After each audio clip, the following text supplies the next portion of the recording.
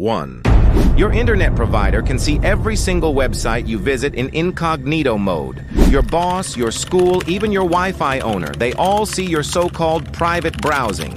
Incognito mode does not hide your IP address.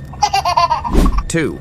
This one's truly shocking. In 2024, Google agreed to a massive settlement after a major lawsuit. Users accused the company of secretly collecting browsing data from over 136 million incognito users.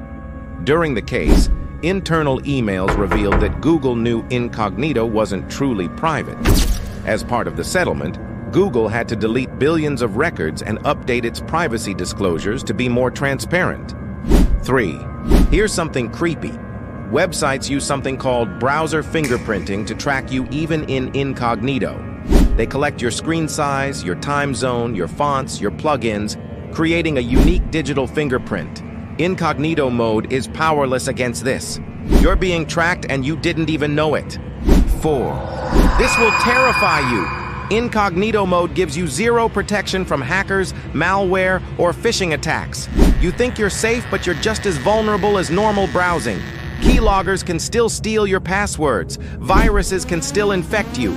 Incognito does not encrypt anything. Hold up. If you've made it this far and your mind is already buzzing, leave a comment below with Incognito no go, and I'll heart your comment. 5. And here's the final shocker.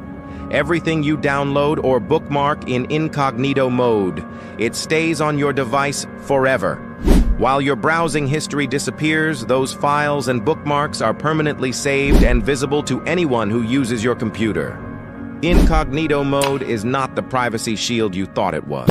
Mind blown? If you want to discover more amazing global facts like this, don't forget to subscribe to Global Facts Rush. Hit that follow button for your daily fact rush.